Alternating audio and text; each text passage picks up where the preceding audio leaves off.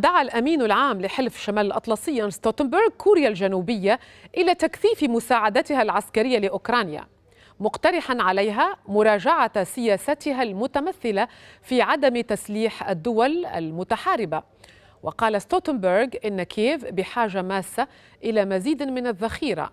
محذرا من أن الجيش الروسي يستعد لمجهود حربي جديد.